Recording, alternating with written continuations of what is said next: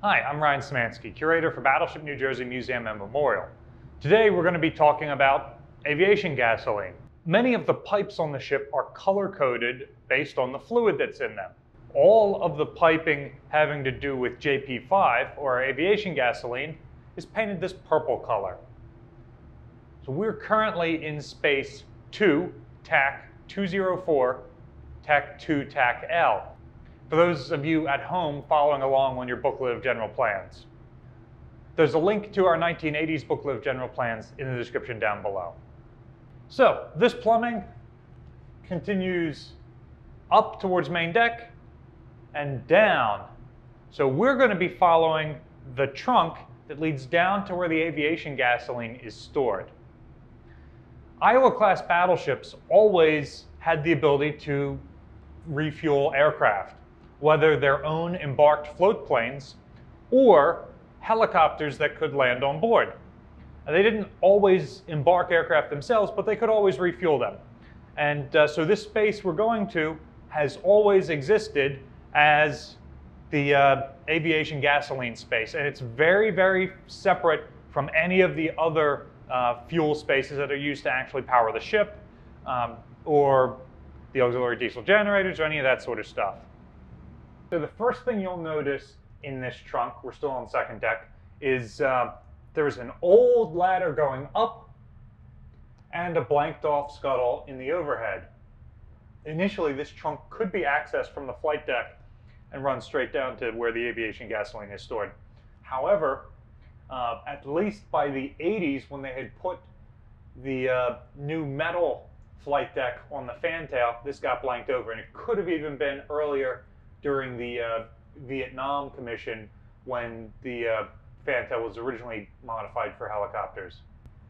She did carry helicopters before that, but there weren't any explicit modifications made for them. They just landed on the original teak deck. Uh, another thing to point out in this space, we've got uh, fuel lines coming down, painted purple, and we've got this uh, firefighting foam line. Red and green striped piping means that it is AFFF and there is a mixing station back here on the fantail specifically for mixing the foam and the uh, fire main water to create a triple F aqueous film forming foam, for both the aviation gasoline stored down below and for the flight deck where the helicopters are landing.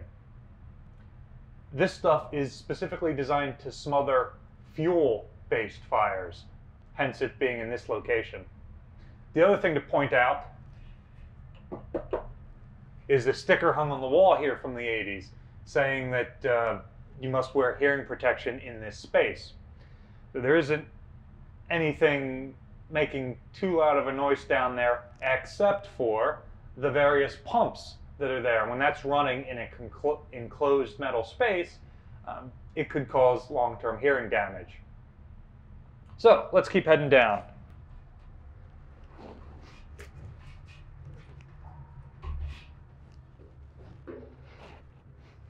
So now we are one deck below on third deck and uh, just one deck above where the fuel actually is. This space you can see has brackets for halon gas as part of the fire suppressant system of last resort. Uh, you'll see that this was clearly a watchstander's position. There's a ship service telephone here with the phone numbers for the A Division office, A Division berthing, uh, the fan room, the oil lab, damage control central, main control, forward and aft diesel, uh, and the machine shop. So it's always very telling based on these phones what numbers are on them, what spaces they thought that this watchstander was going to need to call with some frequency. There's a cabinet here which might have been for fuel bottles for testing or might have been for some sort of uh, other tools or equipment. And you'll see we've got purple JP5, green and red AFFF, and a green pipe that is the fire main. Normally, the fire main is painted red, but for whatever reason in this space it is painted green.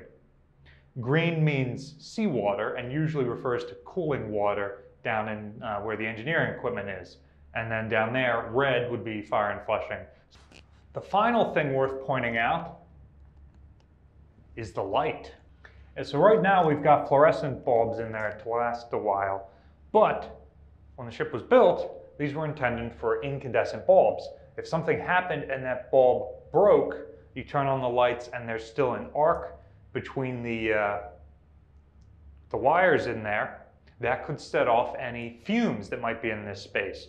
And as, as you can tell already, fire is a huge concern with where this fuel is stored, particularly with sparks from the fumes. So this being inside of a pressurized, sealed, airtight porthole of its own, um, all but guarantees that that can't be busted. It looks like on the back side where this mirror is, there is a uh, set of screw holes that you can undo to change the bulb. So I suspect you cannot do it from this space. You've got to go into another space and do it. And this side is completely air and water tight. All right, let's head down the last level.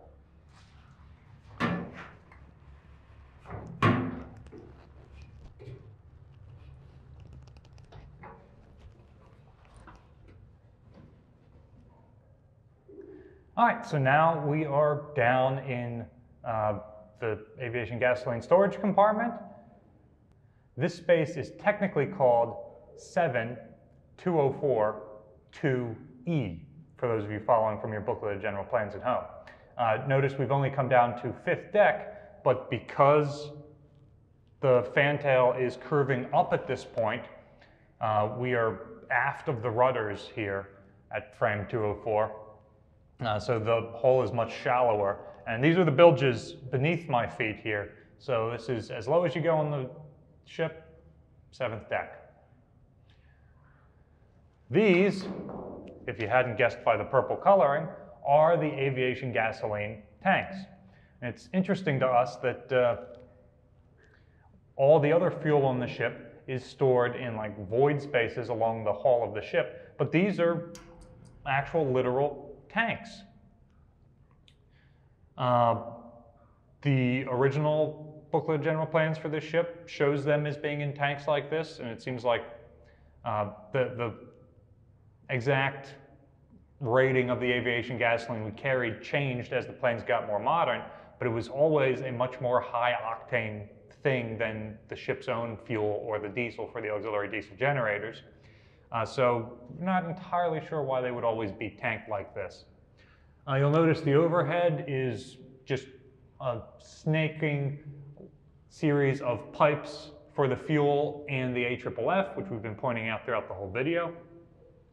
On that side of the compartment, there are several large pumps that would be used uh, to pump out the fuel. And on this side of the compartment, it seems like at some point a bulkhead has been installed this, I believe the original designs for this ship showed this going from shell plating to shell plating. If you can hear that background noise, it's a boat passing by. We can hear its propeller. We're below water right now.